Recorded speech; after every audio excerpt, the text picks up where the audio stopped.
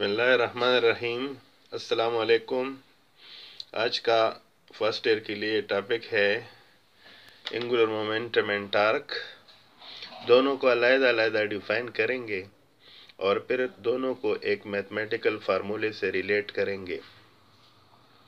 Angular momentum का और torque का आपस में ताल्लुक है। जिस तरह लीनियर मोमेंटम और फोर्स का आपस में ताल्लुक है। एंगुलर मोमेंटम को पहले डिफाइन करते हैं। देखो, एक डिफिनीशन तो इसकी ये है, लेकिन आपको एक दूसरी डिफिनीशन बता देता हूँ कि आपको समझ आए कि है क्या। The quantity of angular motion in a body is called angular momentum इसका मतलब कोई अगर ऑब्जेक्ट दायरे में घूम रहा है तो उसके अंदर मोमेंटम होगा, उसको एंगुलर मोमेंटम कहते हैं। मतलब अगर ज़्यादा तेज़ी से घूम रहा है तो इसका मतलब एंगुलर मोमेंटम ज़्यादा है, और अगर आहिस्ता घूम रहा है तो एंगुलर मोमेंटम कम है। तो यू कहो कि एंगुलर मोमेंटम से आपको किसी ऑब्जेक्ट के घूमने का पता चलता है। मतलब जो भी ऑब्जेक्ट एंगुलर मोशन में हो तो इसका मतलब कि उसके अंदर एंगुलर दूसरी डिफिनीशन ये है, जो कि मैथमेटिकल फॉर्म है the cross product of R and P R radius of the circle कहते हैं, यानी वो वो रेडियस उस सर्कल का जिसके, जिसमें कोई ऑब्जेक्ट घूम रहा है। और पी लीनियर मोमेंटम है, इसको हमने डिफाइन किया था the quantity of linear motion in body so इन दोनों का क्रॉस प्रोडक्ट एंगुलर मोमेंटम कहलाता है। एंगुलर मोमेंटम को इस सिंबल एल से डिनोट करेंगे। और इसका formula L is equal to R cross P आता है। ये इसका वेक्टर फॉर्म है। या यू कहो कि जब दो वेक्टर्स का क्रॉस प्रोडक्ट हो या वेक्टर प्रोडक्ट हो तो उससे रिज़ल्ट भी एक वेक्टर आता है। इसलिए जो एंगुलर मोमेंटम है, उसको हम आर क्रॉस पी या आर पी साइन थीटा कहते हैं। अगर ये थीटा 90 हो तो एंगुलर मोमेंटम ऐसे लिखा जाएगा। और उस वक़्त एंगुलर मोमेंटम मैक्सिमम होगा, यानी L is equal to R P होगा। फिर आपको ये भी मालूम है कि जो पी है, ये एम वी के बराबर है, इसलिए हम एल को आर एम वी लिख सकते हैं। जबकि इसमें R radius M mass of the object है और वी लीनियर वेलासिटी है। ये जो चूँकि हम एंगुलर मोमेंटम डिस्कस कर रहे हैं या एंगुलर मोशन डिस्कस कर रहे हैं तो हम इस लीनियर वेलासिटी को एंगुलर वेलासिटी के फॉर्म में इस तरह लिख सकते हैं। V is equal to R omega अब अगर हम इस v की जगह आर ओमेगा लिखें तो जो एंगुलर मोमेंटम का नया मैथमेटिकल फॉर्म है, वो आर एम और आर ओमेगा आ जाएगा। अब इसमें जो इक्वल है, ये आर दो दफ़ा है, इसलिए आर का स्क्वायर आ जाएगा और omega so M R square into omega आ जाएगा। अब ये जो एम आर स्क्वायर है, इसको मोमेंट ऑफ़ इनर्शिया कहते हैं।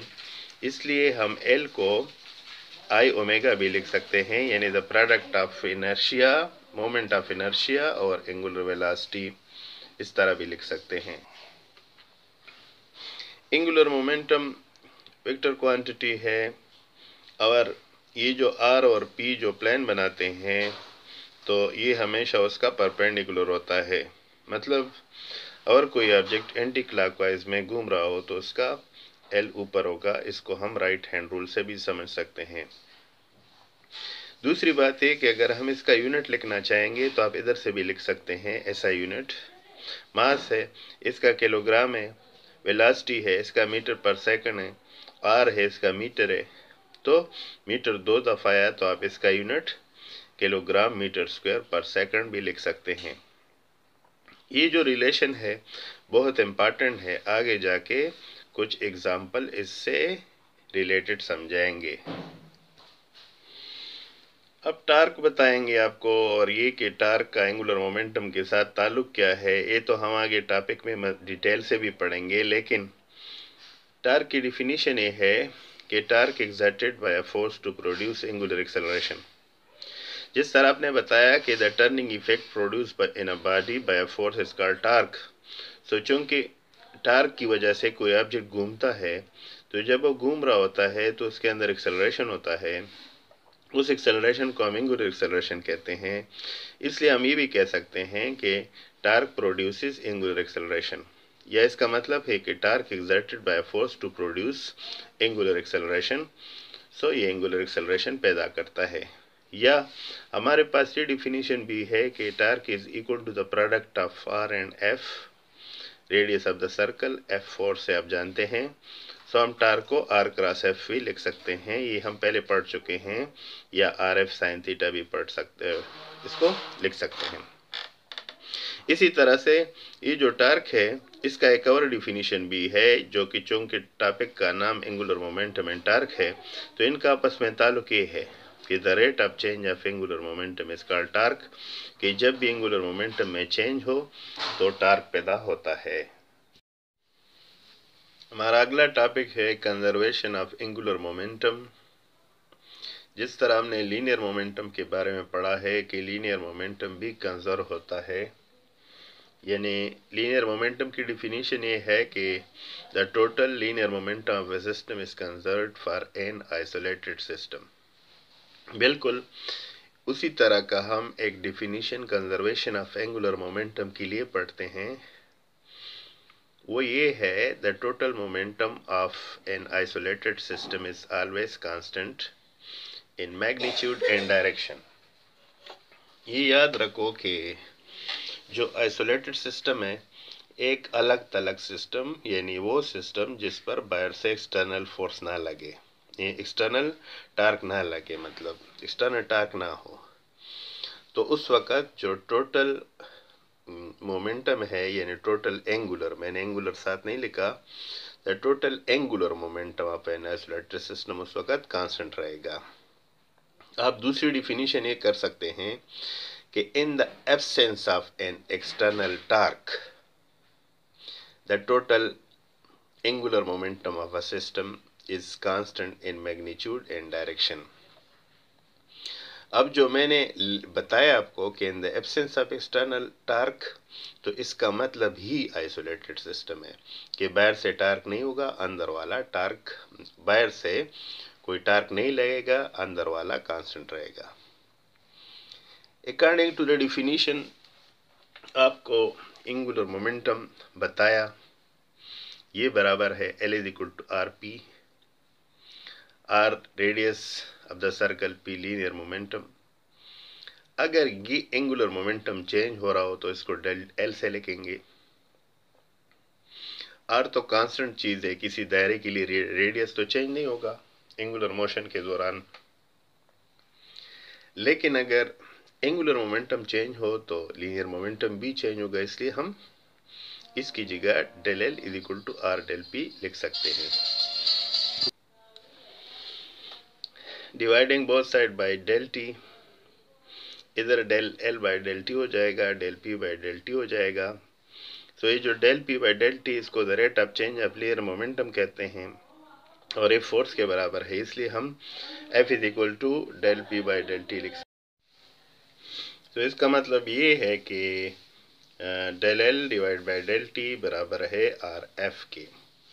आप आर एफ़ को टार्क लेते हैं तो इसका मतलब कि टार्क बराबर है del L by del T तो जो हमारा इससे पहला टॉपिक था कि टार्क एंड एंगुलर मोमेंटम तो उनका ताल्लुक इस तरह का आता है मैथमेटिकल रिलेशन कि thus the rate of change of angular momentum is equal to torque कि जब भी एंगुलर मोमेंटम चेंज हो रहा हो तो वो बराबर होगा टार्क के। आगे हम लिखते हैं दस फॉर एन आइसोलेटेड सिस्टम इसका मतलब अगर कोई एक्सटर्नल टार्क ना हो, या टार्क ज़ीरो के बराबर हो तो ये जो टार्क है, इसको हम ज़ीरो लिखेंगे। तो जो del L by del T है ज़ीरो के बराबर आ जाएगा। इसका मतलब the rate of change of angular momentum is zero अगर हम दोनों तरफ़ को डेल टी से मल्टीप्लाई करें तो डेल एल इक्वल ज़ीरो आ जाएगा। इस मैथमेटिकल स्टेप का मतलब कि there is no change in angular momentum तो अगर एंगुलर मोमेंटम में चेंज ज़ीरो है तो इसका मतलब एल कांस्टेंट रहेगा तो यहाँ से आप दो बातें समझ सकते हैं पहली बात यह है कि अगर एंगुलर मोमेंटम कांस्टेंट हो तो टार्क ज़ीरो होगा दूसरी बात आप ये समझ सकते हैं कि टार्क तब होगा जब एंगुलर मोमेंटम में चेंज हो रहा हो so, टार्क होगा so for a change in angular momentum there will be torque and In case the angular momentum is constant, there will be no torque or the torque will be equal to zero. आपको आगे जाके बता देते हैं कुछ figure समझाते हैं दिखाते हैं कि ये जो कंजर्वेशन ऑफ़ एंगुलर मोमेंटम का जो लॉ है ये सर्कट एक्रोबेट्स इस्तेमाल करते हैं डाइवर्स इस्तेमाल करते हैं बैलेट डांसर्स इस्तेमाल करते हैं आइस स्केटर्स और और जो करतब दिखाते हैं एथलीट्स तो उन सब में ये इस्तेमाल होता है। आपको कंजर्वेशन ऑफ़ एंगुलर मोमेंटम का एक एग्जांपल इस फिगर से समझा देते हैं।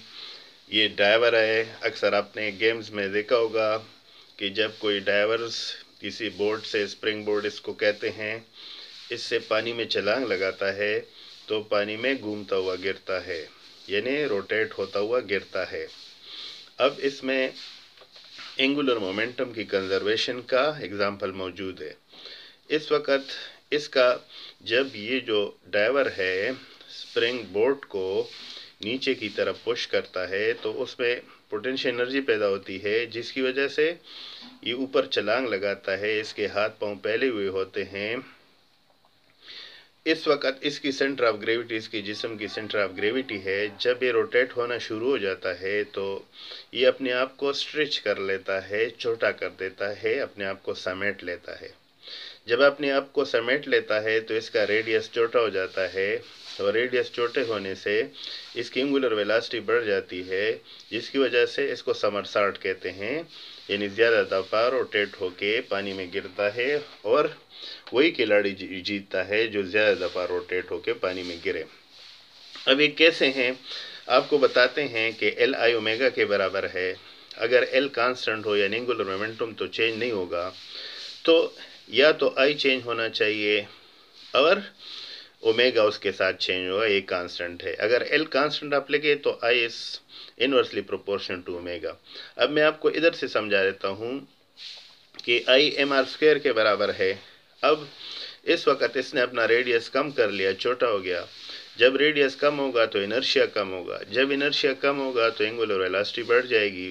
तो इसका मतलब ये तेज़ी से रोटेट होगा, इसकी एंगुलर वेलासिटी बढ़ने से ये ज़्यादा रोटेशन लेगा। दूसरा example again angular momentum of a gymnast ये अगेन आप देख के एक फोम है जो कि इलास्टिक है। इसमें चलांग लगा के ऊपर उठता है क्योंकि इसको एनर्जी मिल जाती है। अब जब ये ऊपर उठता है तो ऊपर उठते वक्त ये अपने आप को समेट लेता है, जिससे इसको एंगुलर वेलासिटी इसकी बढ़ जाती है। मोमेंट ऑफ़ इनर्शिया कम हो जाता है और इसी वजह से ये आसानी से चलांग लगा सकता है दूसरी तरफ़। तीसरा एग्ज़ाम्पल भी इसमें इंटरेस्टिंग है। इसमें एक एथलीट है जो कि टर्न टेबल पर घूम रहा होता है। ये घूमने वाला टेबल है। तो ये पहले अपने आप को फैला देता है हाथों को। जब अपने हाथों को फैला देता है तो इसका इनर्शिया बढ़ जाता है। आई क्योंकि इस रिलेशन के मुताबिक इस वक्त इसका रेडियस ज़्यादा है, इस वक्त। जब रेडियस ज़्यादा है इनर्शिया इसका ज़्यादा है और एंगुलर वेलासिटी कम है। यानी इसकी घूमने की रफ्तार कम है। लेकिन जैसे ही अपने हाथों को समेट लेता है तो इसका रेडियस छोटा हो जाता है। रेडियस के छोटे होने से इसका इनर्शिया कम हो जाता है। और इस रिलेशन के मुताबिक जब इनर्शिया कम होगा तो इसकी एंगुलर वेलासिटी बढ़ेगी तो ये ज़्यादा तेज़ रफ्तारी से घूमेगा। सो so, ये भी law conservation of angular momentum का एग्जांपल है।